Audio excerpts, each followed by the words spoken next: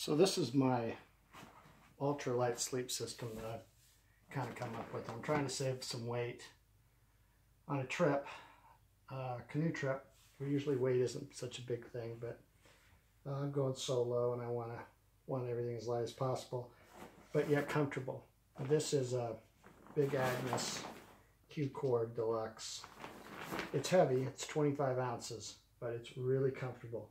One thing I've found with these pads that's so important is you don't overinflate them.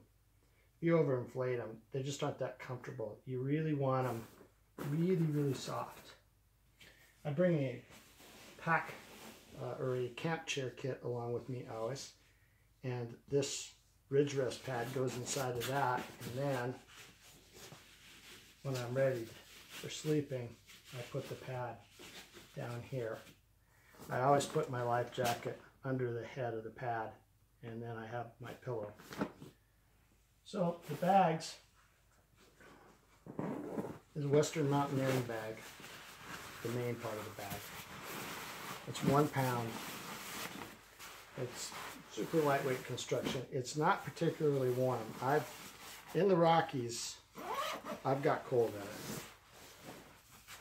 Because it's sewn through construction, okay? It's just, it's just sewn through.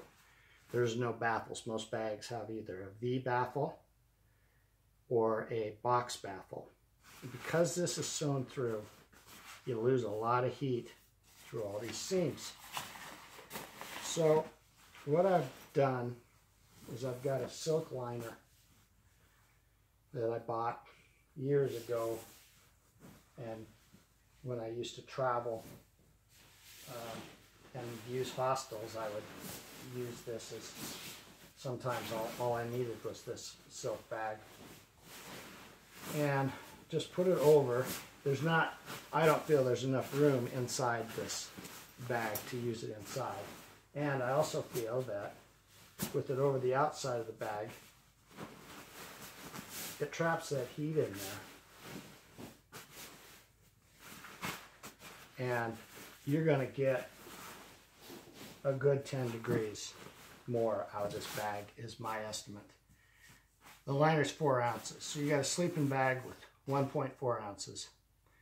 Your pad system is uh, right two pounds total, 32 ounces. So you've got a total sleep system of three pounds, four ounces, which uh, is acceptable.